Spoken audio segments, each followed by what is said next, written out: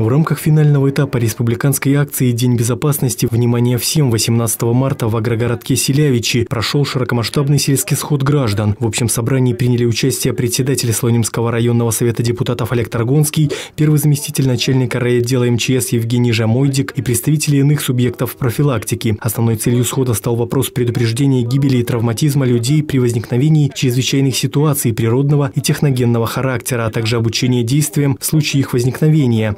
Стандартный формат проведения мероприятия в виде скорбонки беспеки позволил наиболее доступным способом объяснить взрослым и детям, от чего происходят пожары, и продемонстрировать способы их тушения подручными средствами. Работники аварийной службы Слонимгаза рассказали о правилах безопасности при пользовании газом в быту, а также продемонстрировали специальное оборудование для ликвидации аварий. Первый заместитель начальника Слонимского райотдела МЧС Евгений Жамуйдик рассказал о статистике о произошедших с начала года пожаров в области и районе и их последствиях. Представитель МЧС обратил внимание присутствующих на недопустимости выжигания сухой растительности и предупредил, что за данное деяние предусмотрена административная ответственность в виде штрафа от 320 до 960 рублей. Сельчан проинформировали о проводимой в республике информационно-пропагандистской кампании «Безопасная старость» и призвали оказать посильную помощь своим престарелым родителям в ремонте печного отопления, замене ветхой электропроводки и наведении порядка на приусадебных участках. В продолжении темы выступил председатель Слонимского районного совета депутатов Олег Торгонский, который указал на личность личную ответственность каждого гражданина в обеспечении собственной безопасности. При этом не стоит забывать, что беспечность одного человека может стать причиной гибели и травмирования иных граждан, которые по воле случая находились рядом или просто проживали по соседству. Олег Мячеславович не обошел стороной сложившуюся военно-политическую обстановку вокруг Беларуси и призвал граждан не поддаваться провокациям и взвешенно относиться к информации, размещенной в СМИ. В завершении встречи присутствующие получили информационные буклеты с советами о безопасности, а для детей была предоставлена возможность примерить